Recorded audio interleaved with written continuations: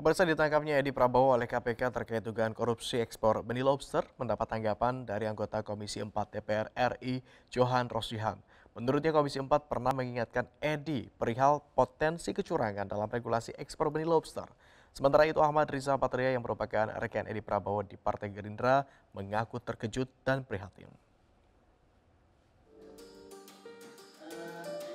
Sebagai sesama kader Partai Gerindra, Wakil Gubernur DKI Jakarta Ahmad Riza Patria mengaku prihatin dan terkejut dengan tertangkapnya rekan separtainya yang juga menjabat Menteri Kelautan dan Perikanan Edi Prabowo pada Rabu dini hari.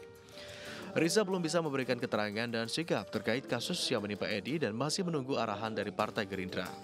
Uh, tentu kami prihatin dan semuanya nanti ada dari pihak partai yang akan menjelaskan detailnya. Uh, Pak Sekjen nanti Pak Muzani akan menjelaskan dalam detailnya. Kita tunggu saja ya. Sementara itu, anggota Komisi 4 DPR RI Johan Rosihan menyampaikan rasa bela sungkawa atas ditangkapnya Edi Prabowo oleh KPK. Johan menyebut Komisi 4 sebelumnya juga pernah mengingatkan Edi mengenai sejumlah persoalan dalam kebijakan ekspor benih lobster.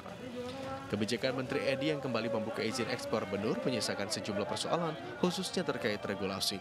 Meski dinilai sangat menguntungkan nelayan, Johan menyebut regulasi yang ada dalam kebijakan ekspor benih lobster berpotensi memunculkan penyalahgunaan wewenang.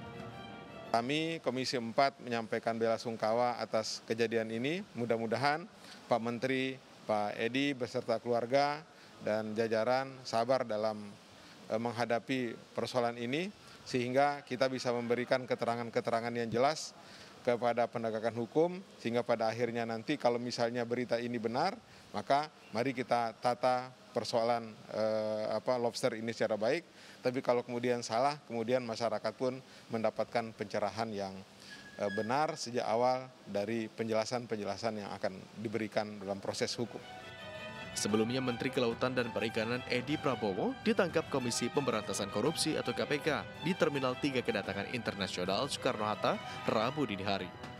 Edi Prabowo dan rombongan baru saja tiba di Bandara Soekarno-Hatta menggunakan pesawat All Nippon Airways dengan nomor penerbangan NH835.